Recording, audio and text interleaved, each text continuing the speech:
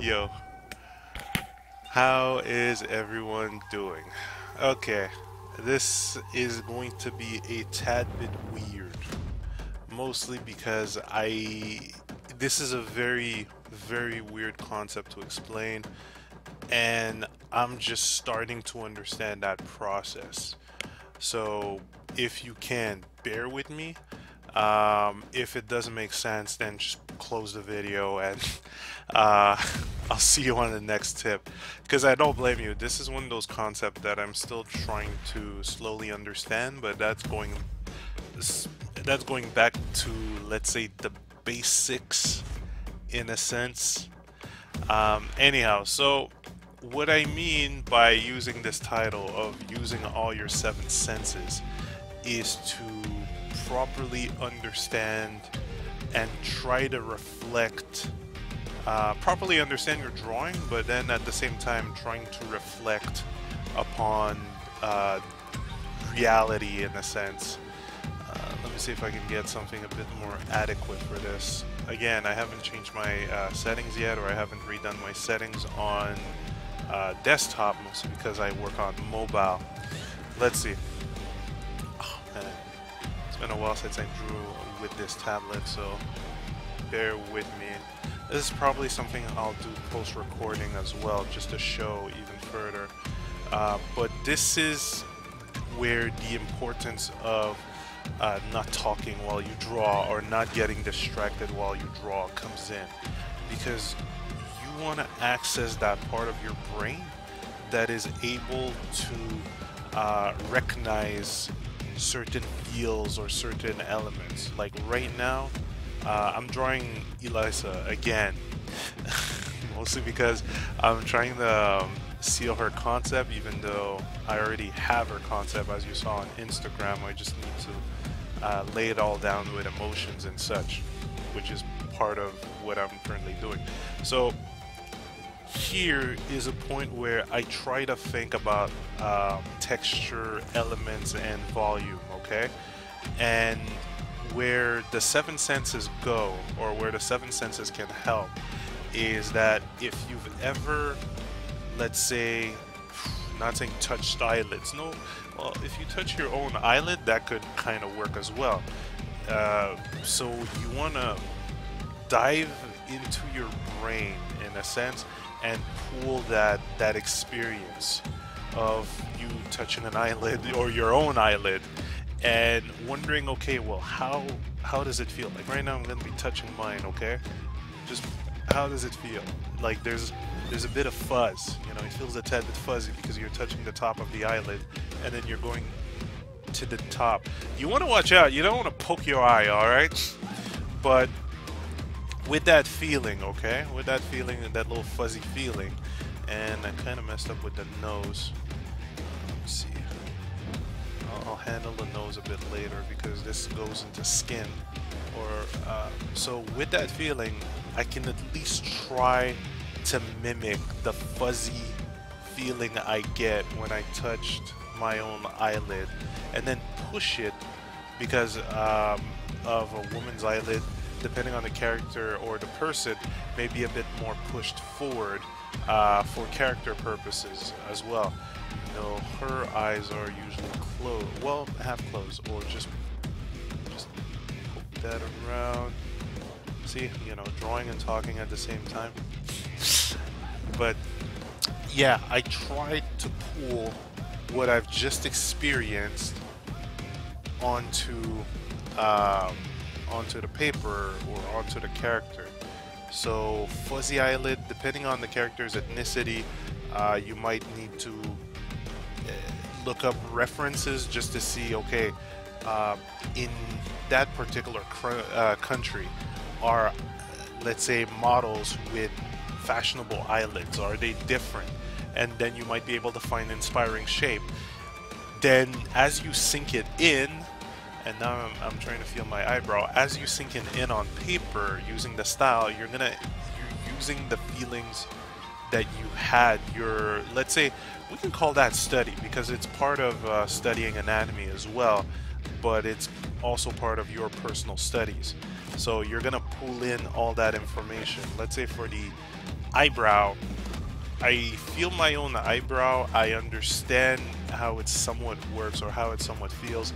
Um, another part of the seven senses would be smell, but I don't think eyebrows smell much or smell anything. That would go a bit more for, let's say, environment. But uh, let's see, we'll we'll jump in that a bit later. But again, using some of the feelings I have, along with how certain eyebrows look. So you're using your sense of touch, and you're using your sense of sight, and also noticing how color you know how uh, light falls onto certain colors or certain elements. So your the simplest way to pull this okay because it's not something mystical saying all your seven senses.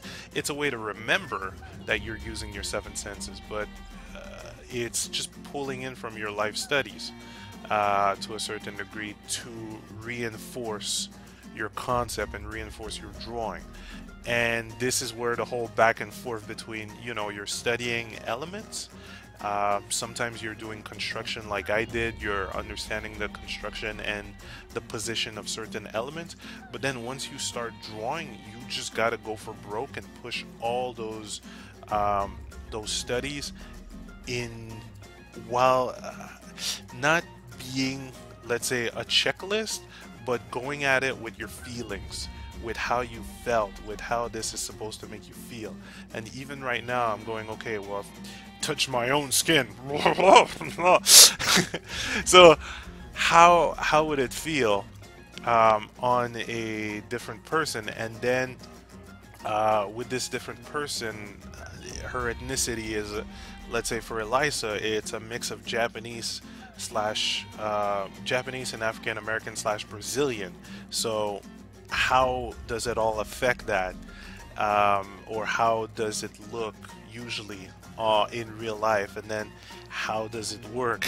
it, it's a tad bit odd to say, okay?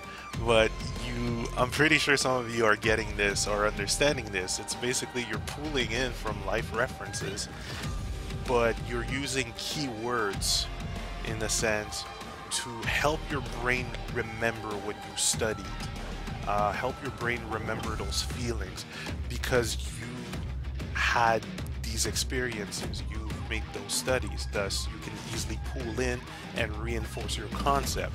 And the same goes for the lips. Right now, mm, touching my own lip. Because she's uh, Japan, Japano Afri Africano Japanese, uh, that could kind of work. Yes, because she's Africano Japanese, I still get away with it with my Haitian lips. Kind of works, right? But I'm trying to just pull in my knowledge, my my current knowledge and feelings of how lips feel, and you know it's kind of squishy. So I'm trying to get that feeling. I'm trying to get that that life into it, you know. And then after this sketch, I'll basically just go back on top of it and fix um, everything that you know I do not deem as working uh, or everything that I deem like I want to change. As for the eye, oh boy, the only reference I could have for eye or touching, feeling an eye would be like biology class eons ago where you were dissecting a couple of things or or there are fake ones. Um, I forgot. I really got I really forgot. Um, let's see.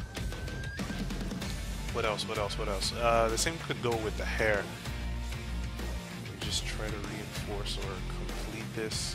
But you know, all of these thoughts, all right, all of these thoughts, you're basically thinking about it in a flash as you're as you're drawing. Okay. Uh, let's say the hair. The hair I've seen. I haven't touched hair like that, but I've seen hair like that. So because of the texture that the hair has, can I refer that texture to something else that I've touched? And I guess that could be cosplay wigs uh, or a different kind of feeling to it. Uh, let's see, so this is what I'm trying to pull, but ultimately I would need to either uh, spot cosplay hair exactly like that or with that kind of texture or gonna have to um, find an equivalent of that hair within another type of texture. And, you know, because who the fuck goes around to touch people's hair? Uh, admittingly, I could go to a convention and say, all right, could I, can I touch your hair? It's mostly for uh, drawing purposes. Don't worry, it's not creepy. Uh, but that's how you learn. It's really, it's nuts. But if you are able to basically gather your seven senses as you draw, uh, pulling in from studies that you've made before, you will be able to achieve an, an interesting level of result. Uh, it's not ultimate, of course, because frankly, you're going to need your uh, your basics, your fundamentals, and such. But when you pull it all together, this is where magic happens. Uh, right now, really not satisfied with her concept, but that's because I have a far better one in my sketchbook, which I need to use as a seal down, you know, just to settle down the concept. Uh, yet, the same could go when you are drawing uh, an environment. Let's say, let's say I do not even have a map for this. Uh, let's say I'm gonna take a specific environment from uh, the next extra stage comic. So just set some really quick perspective lines or guidelines to set up a, a zone.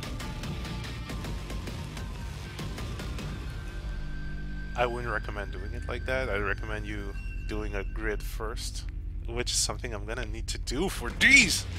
Ah, so many notes, man, so many notes. But uh, and what I mean by a grid, I mean, let's say this square is this seen from on top, okay? So at this point, I would just separate it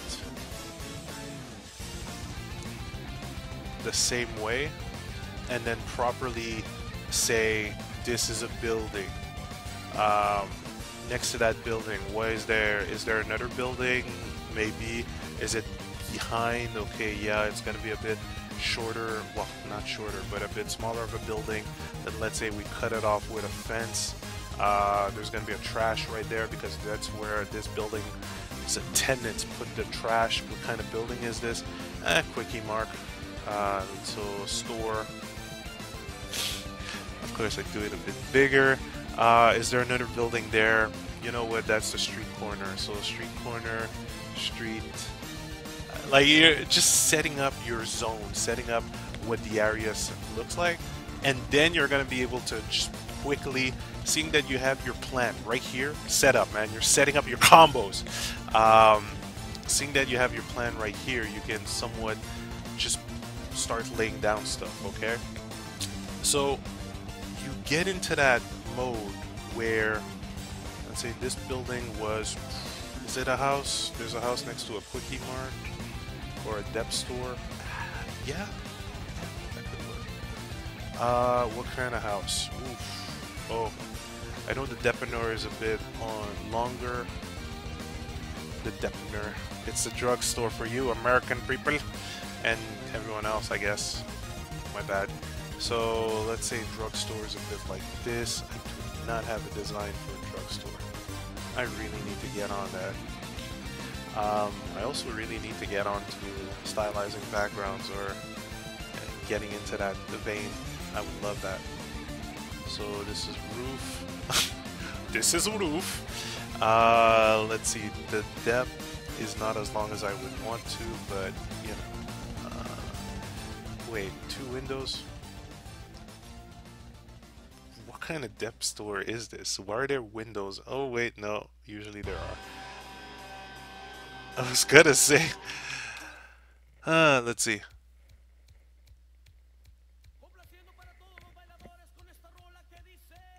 Hmm.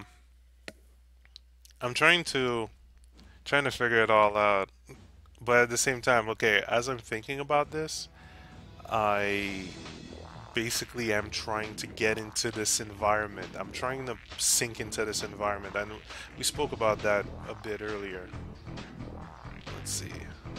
So now, I know we spoke about that earlier, and this is where it all kind of comes in, where, okay, street like I, right now you saw me going very analytical which it's a good start it's a good setup but the part where i'm gonna need to sweep in with uh, the knowledge or the seven senses is just trying to understand how to feel within this environment so uh, the setting is supposed to be this kind of chinatown and of course i'm gonna add japanese type of stuff to it because you know i mix many of those. No, that's not Japanese. Japanese would be another form.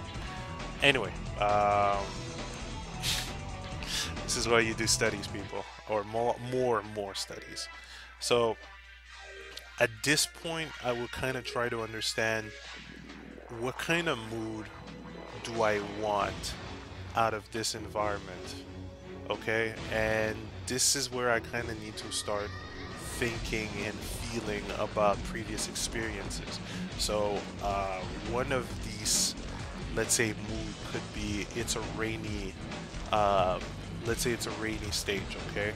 So when I was outside in the rain, going through certain environments, how did it all feel? It felt damped. How did light fall on cement that had uh, rain on top of it? Well, there would be certain flashes, not flashes, certain, um, let's say, light spots because of light reflecting on water, or uh, I do not know the proper term for it, not yet. But you know, you would get that aspect of it. Uh, you would also get very damped buildings.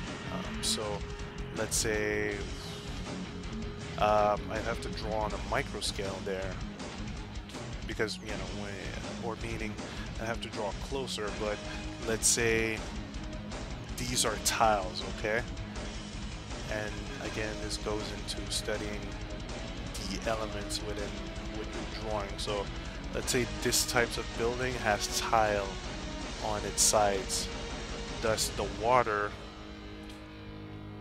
would fall from top go down the tile go down on the lower tile and then just start going down like that.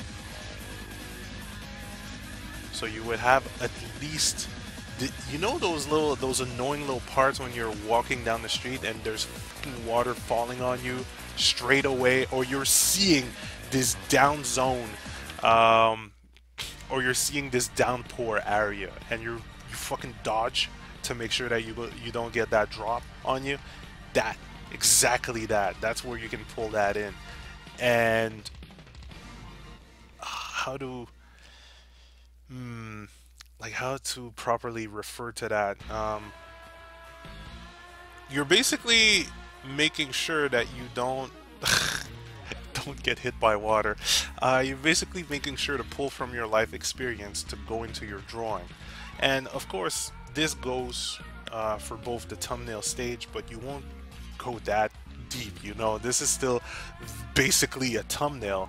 Uh, yet you still want to try to pull that information during your thumbnails so that when you're going to do your final piece, you're basically just going to explode uh, with all those feelings that you've gathered from your studies, from your life interactions.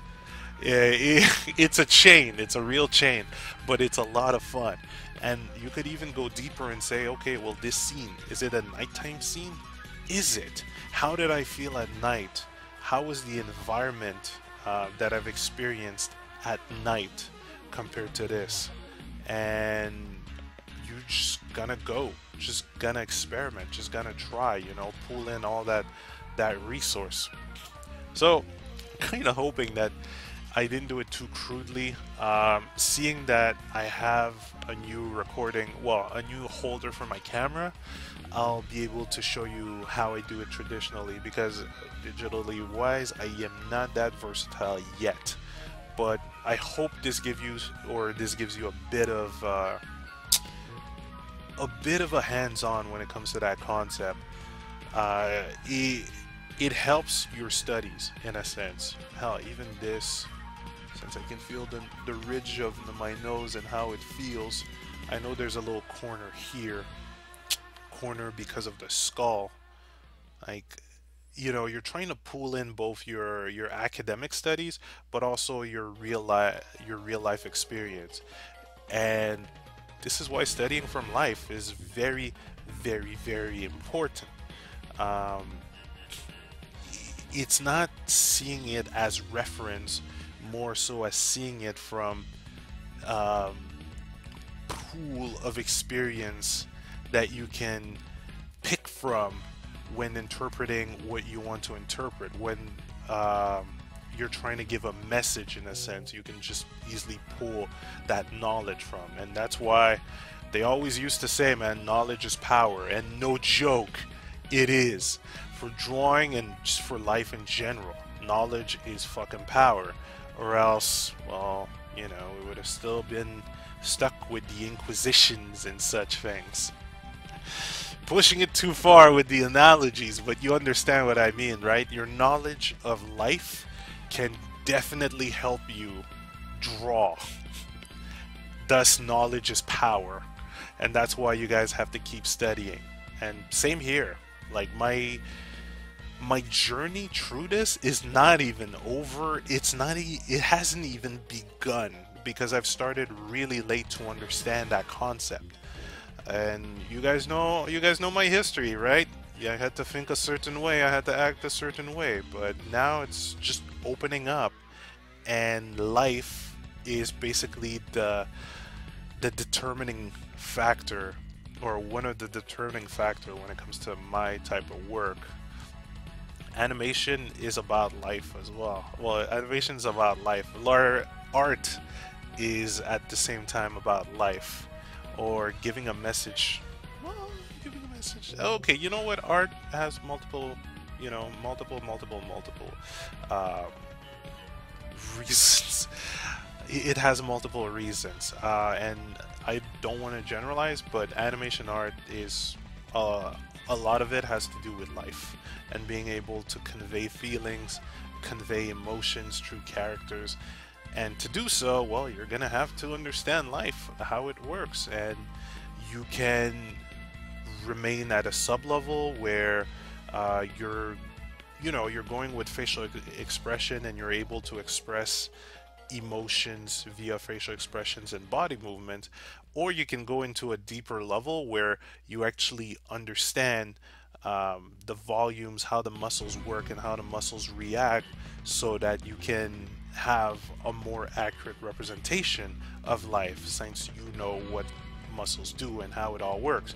Then you can stylize it. Don't worry. It, it all just fits in afterwards.